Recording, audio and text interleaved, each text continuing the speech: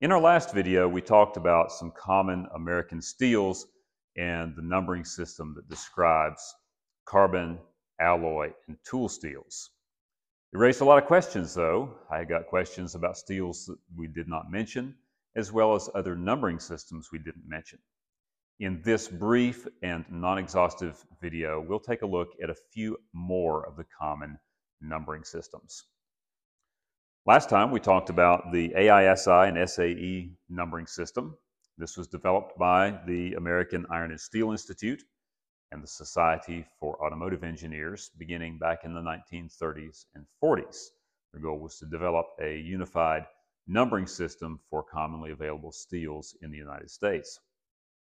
In the 1990s, the system was turned over to the Society for Automotive Engineers. So you will see that designation SAE in front of the um, steel number, whether that be um, 1095 or 5160 or whatever. But you will still see AISI with some of those um, designations as well. There was another classification of steel that, that was under this system, and that was for stainless steels that we did not mention in our last video. Another common um, specifier of steels is the American Society for Testing Materials, or AT, ASTM International. Their specifications specify both the, the form or shape, whether it be bar or plate or tubular or wire, as well as certain mechanical properties rather than chemical composition. In other words, if you look at the ASTM specification number, it will not specifically tell you anything about that steel in the way that the SAE system does. Here are some examples.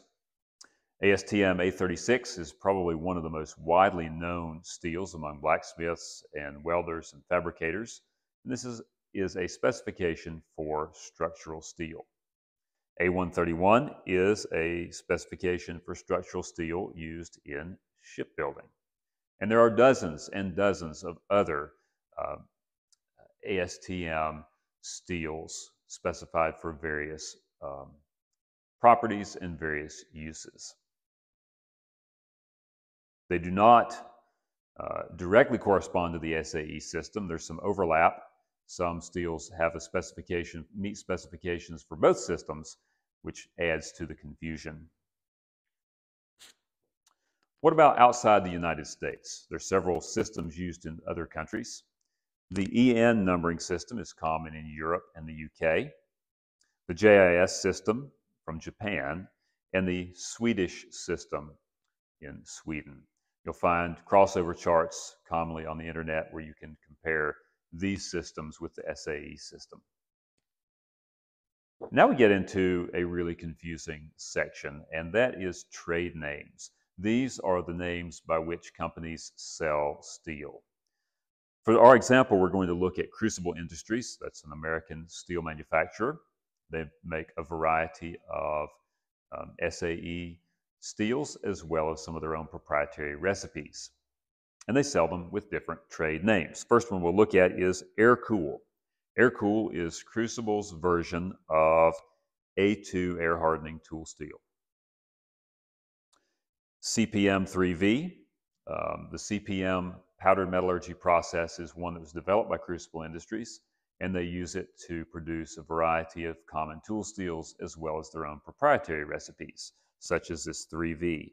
S30V is another example of a proprietary steel that Crucible makes, but is not on any other numbering system.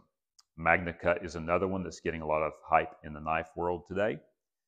Um, and then other steel manufacturers besides Crucible, they will have their own trade names for both common steels and their own proprietary recipes. Yes, the steel numbering system systems are very confusing. There's not a consistent crossover and there is no one single system that covers them all. But I hope this helped you with defining some of the terminology that you commonly encounter.